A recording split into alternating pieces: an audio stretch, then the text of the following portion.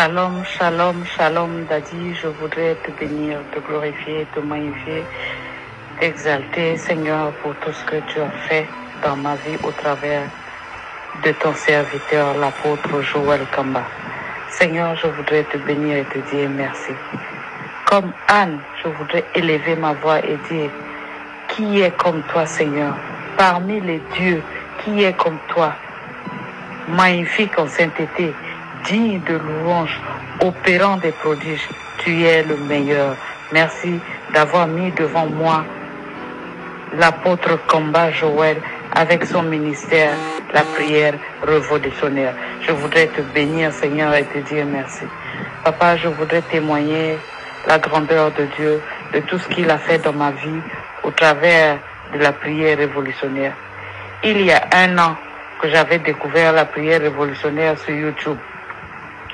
Je, je suivais les prédications et un, jour j'avais vu une publication concernant les, les hôtels euh, sur le célibat.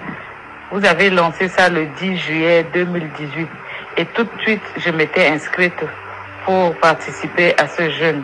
C'était un jeûne de 10 jours et vous nous avez expliqué comment il fallait élever un hôtel et comment il fallait s'y prendre.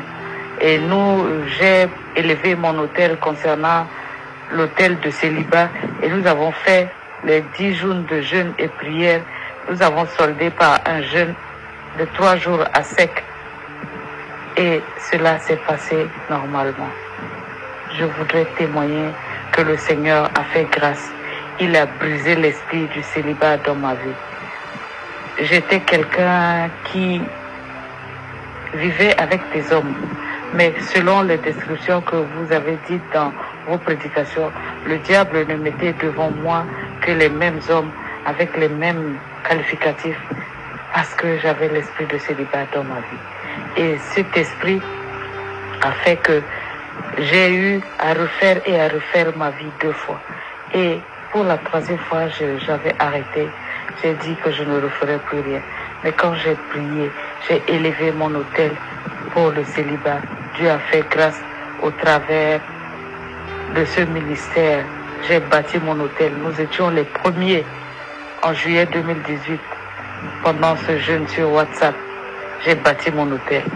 Et je voudrais témoigner que j'ai rencontré quelqu'un et cette personne a versé ma dot le 29 juillet du mois passé, de, de cette année, à mes parents.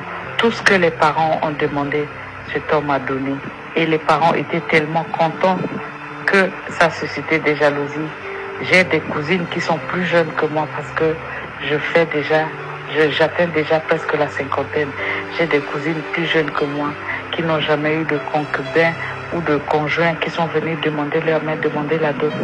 Et cela a suscité des jalousies dans ma famille pour dire que voilà, une grande dame comme moi a trouvé quelqu'un pour venir la doter, l'honorer devant sa famille. C'était un honneur.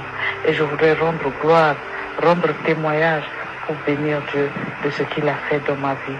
C'est pourquoi je voudrais te dire merci, Daddy, d'avoir ouvert mes yeux sur ce que c'est qu'un hôtel, d'avoir ouvert mes yeux sur ce que c'est que les esprits familiaux, d'avoir ouvert mes yeux sur ce que c'est que les esprits territoriaux, d'avoir ouvert mes yeux sur ce que c'est que les esprits qui bloquent, qui volent nos destinées et nos étoiles. Je ne connaissais pas tout cela et j'ai découvert tout ça au travers de la prière révolutionnaire.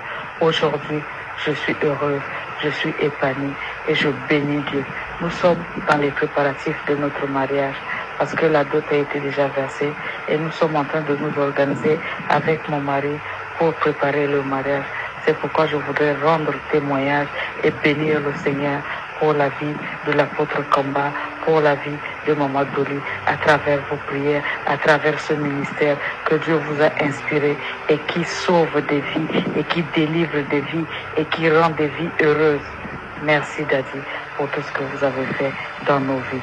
Je te bénis, je, je bénis Dieu et je bénis ton ministère, je bénis ta famille ainsi que tes enfants dans le nom de Jésus.